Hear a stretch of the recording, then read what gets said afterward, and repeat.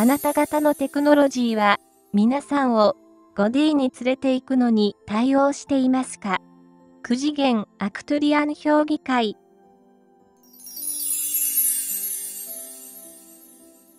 ご挨拶申し上げます。私たちはアクトゥリアン評議会です。私たちは皆様とつながれることを嬉しく思います。私たちはあなた方の多くがテクノロジー、先端科学技術を適切に利用しているのを見て大変嬉しく思っています。皆さんは先端科学技術といったテクノロジーを使って互いにつながることができて情報にアクセスしたり自分自身の側面、個性や特性を世界に発信して共有したりすることができます。非常にクリエイティブ、創造的になれたり、他者を助けたり、皆さんの支援を必要としている人々に手を差し伸べてアクセスしたりすることもできるのです。本当に目覚めている人々は、そのようなポジティブな方法でテクノロジーを利用しています。そして、テクノロジーを利用することで、様々な人類の集合意識のシフトを助けています。どんなものでも同じなのですが、テクノロジーとは根本的には中立的なものであり、ポジティブな使い方をすることもできれば、過度な使用や乱用、そしてネガティブなものを促進するよう使われることもあります。従いまして、テクノロジーを使用するにあたって、ある程度の分別が必要になります。また、このようなすべてを自分の意識の中で実行する力があることを忘れてしまうほど、テクノロジーに頼りすぎるという依存をしてはなりません。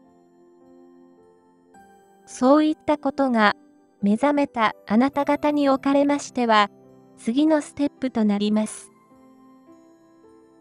次のステップとは、愛する人とコミュニケーションを取るために、電話が必要ないことを認識することです。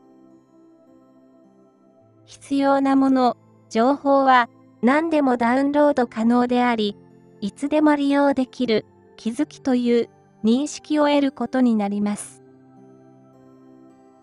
3D プリンターを使用して創作するのではなく、空、何もないところから想像する準備が皆さんには整っているのです。今、すぐにでも手元にある現在のレベルのテクノロジーよりもさらに先へと進むことができます。そして皆さんがこうした技術機器を持つ前の意識領域と、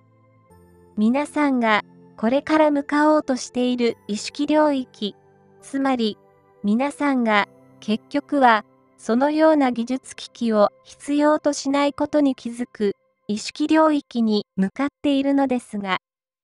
そうした技術機器をすべて脇に置いてしまう意識領域と皆さんの現在の信念を埋め合わせるために、このようなテクノロジーが存在しているというわけなのです。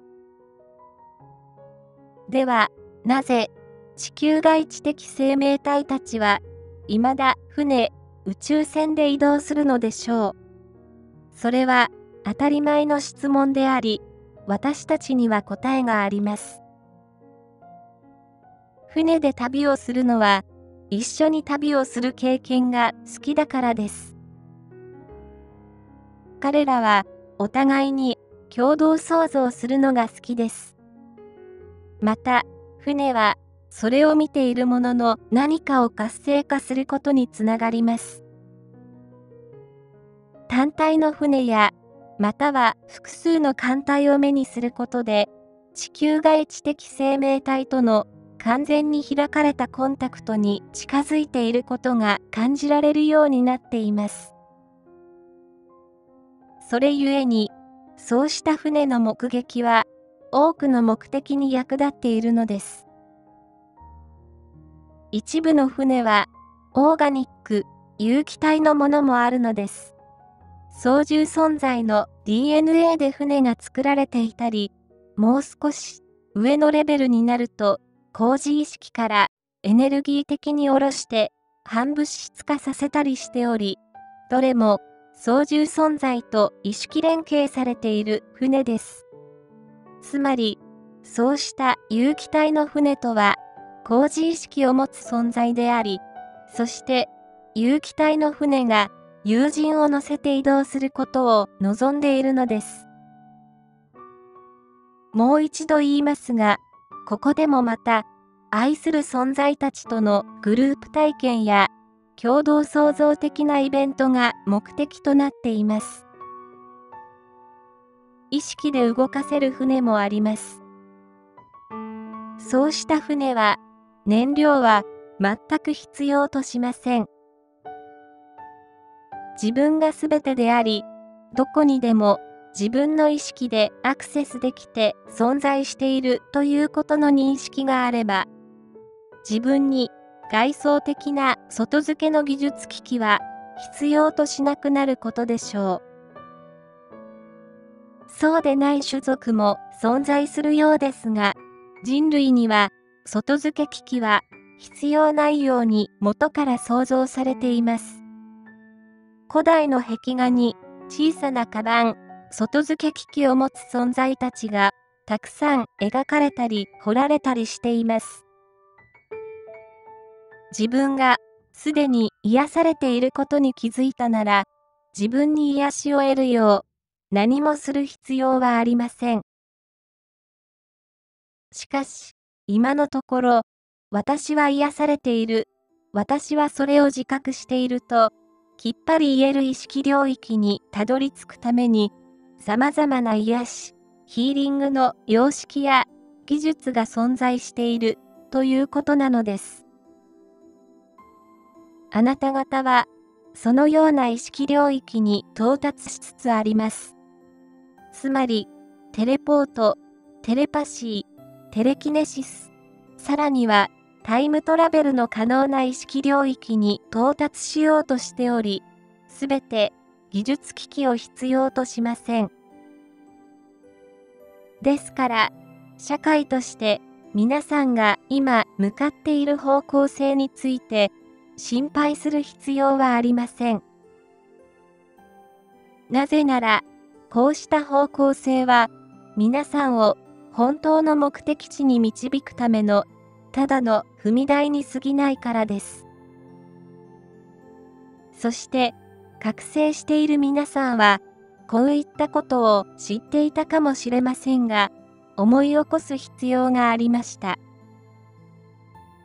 私たちはいつもデバイス、電子機器を置いて、外に出かけるように言っていますが、これこそが理由なのです。デバイス、電子機器は必要ありませんが、自ら振動周波数、波動をさらに高みのあるレベルへとシフトさせていく必要があり、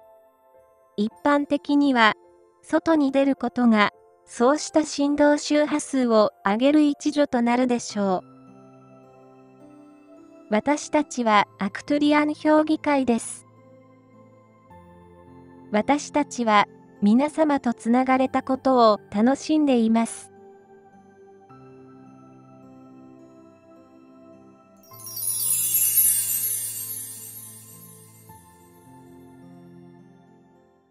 かがだったでしょうか？今回のメッセージが気に入っていただけたら、コメントで教えてくださいね。最後までご視聴ありがとうございました。あなたの日々が幸せでありますように。幸せの法則でした。